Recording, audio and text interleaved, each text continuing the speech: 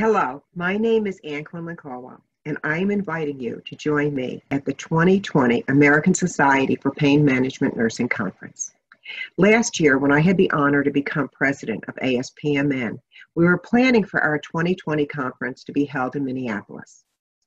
Because we had had many changes in pain management during the year, and Bob Dylan is a son of Minnesota, it seemed appropriate to speak about the times they are a changing. Little did I know how prophetic those words would be.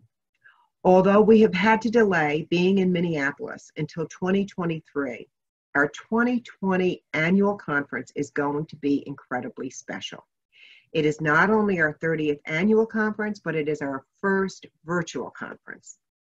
Our fantabulous conference planning committee has met the challenge to move the conference from Minneapolis to your living room or your office or your deck or wherever it is that you're most comfortable participating. And you will save the cost of travel and hotel accommodations while you earn up to 40 credit hours. Now that's a deal.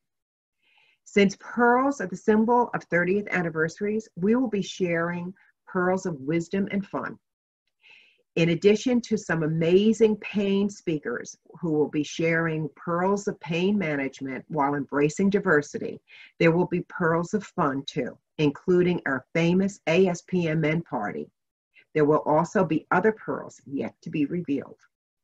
I am excited and I encourage you to go to the ASPMN website today and then locate your favorite pearls register, and bring your favorite pearls to our 30th annual conference, our first virtual conference that we will hold between October 21st and October 23rd. It will be fantastic. See you there.